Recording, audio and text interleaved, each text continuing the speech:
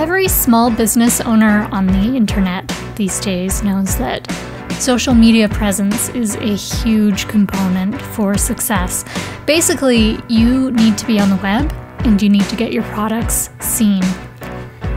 For me, my primary platform is currently Instagram, where I've got two accounts. One is my art account, Ray Strikes Back, and one is my account for the pins that I make, Rachel Ross Fantasy Pins.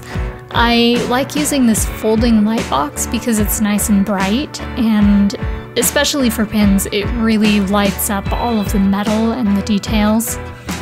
But photographing pins is tricky because they're so reflective. So I tend to move around a lot, and all of that is just because I'm trying to get the reflections in the photos just right. I like using a lot of different backgrounds and props in my setups. The clutter is honestly for my own benefit. I used to photograph all my pins against just a plain white background, and it looked fine but I got really sick of shooting those same old photos every time I got a new pin in. So I introduced more visual variety to make it more interesting for myself. A lot of people just use their phones to photograph their pins, and that can look great, but I personally prefer to use a DSLR because the depth of field is much more authentic and cinematic. I love my phone's camera. I've, I've got a Pixel 6 Pro, which is actually what I shot this video on while I was using my DSLR, but there's something about a traditional camera that just looks and feels so magical.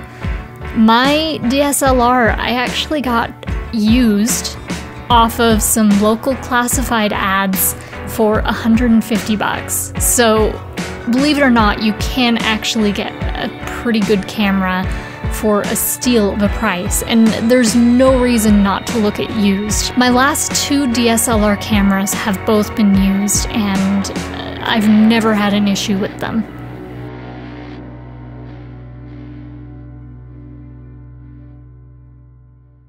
On top of all of my illustration that I do, I also design fantasy pins. Essentially, those are just super fancy fandom pins that tend to be limited edition collector items they're very large, very complicated. So today, I actually, one of the projects that I needed to get to was photographing one of the pins that has arrived from the factory that has been shipped to me that I need to get ready to go out to pre-sale buyers. I usually like to photograph it very first thing so that I can put up a post on my Instagram and my Discord to let them know, hey, this pin has arrived. So I do that first because then it takes a day or two to grade all of the pins depending on the size of the batch and the complexity of the pin and especially the flaw rate.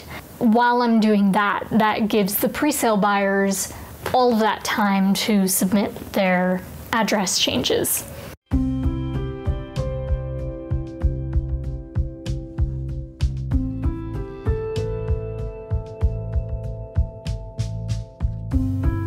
Got a lot of prints or stickers that I'm going to be fulfilling, I actually have a spreadsheet to keep track of what I need to print. I'll go through all of my orders across my shops, list out the products in the spreadsheet, and then I color code everything by size and product type, as well as whether or not I've printed it yet.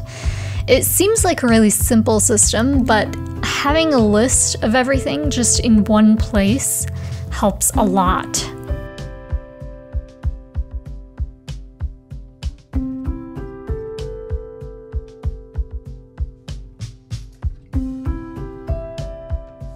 I print everything grouped by product type and then paper size.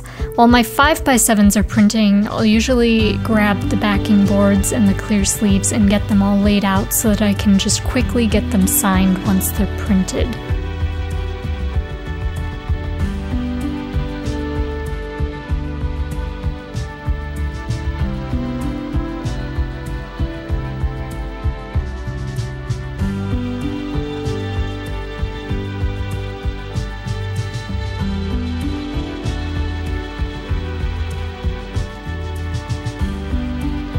Once the 5x7s are ready to go, I move on to the 8x10s and so on until I've got all the prints that I need. Sizes larger than 8x10 have to get rolled up and shipped in a tube, so I forgo backing boards for those prints.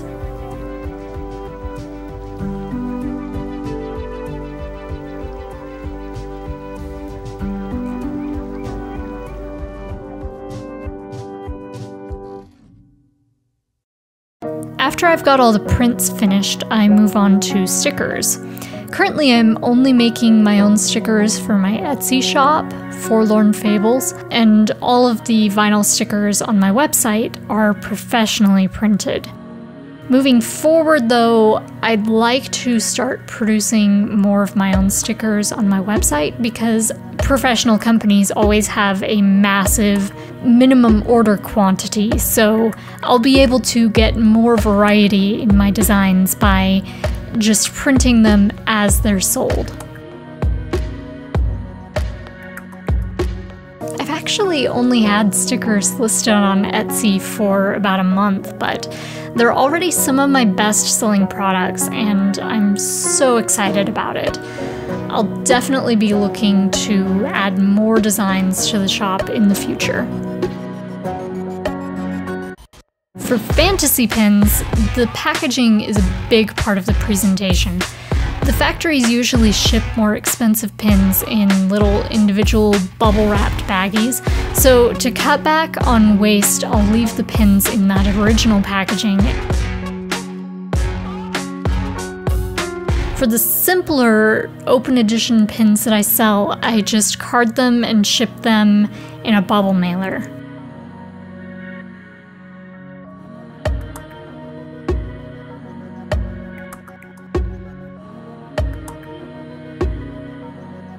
I used to stamp each individual necklace box with this gold ink stamp and the logo for that particular series of pins, but it was a really difficult and time consuming process, and my stamp for the poker cards actually broke.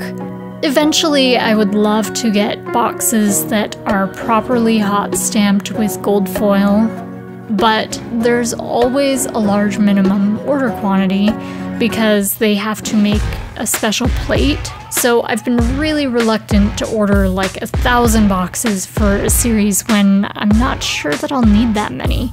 I should just design a logo for myself that I can use in lieu of the series specific logos, but I'm indecisive and can't commit to a design, so there you go.